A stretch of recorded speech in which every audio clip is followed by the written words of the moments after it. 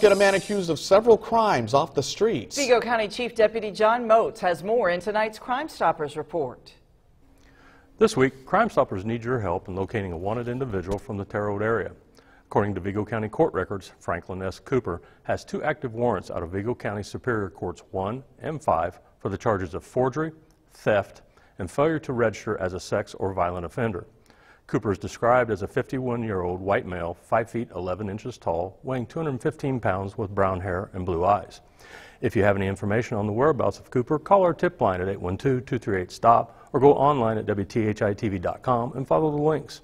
Remember, all tips to Crime Stoppers are anonymous and you could receive up to $1,000 if your tip leads to an arrest. For Crime Stoppers News 10, I'm Chief Deputy John Moats.